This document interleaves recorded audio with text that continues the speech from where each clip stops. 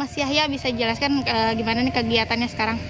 Ya, sekarang ini kegiatan saya mengikuti pelatprop atau pelatihan provinsi NPC Kalsel yaitu latihan untuk persiapan Pekan Paralimpik Nasional di Papua. Hmm. Itu latihannya di mana, Mas? Latihannya di lapangan Purgala Banjarbaru. Purgala. Uh, apa aja nih lagi Mas kalau selain latihan itu?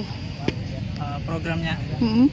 Programnya untuk saat ini masih ya jaga kondisi latihan ringan aja dan jogging apa? Jogging lima putaran di lapangan gubernur. Oh biasanya latihannya sama ya teman-teman di mana aja mas?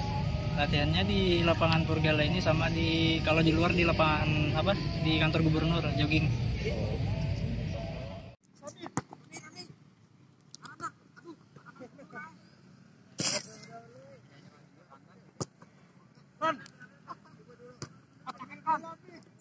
Nah.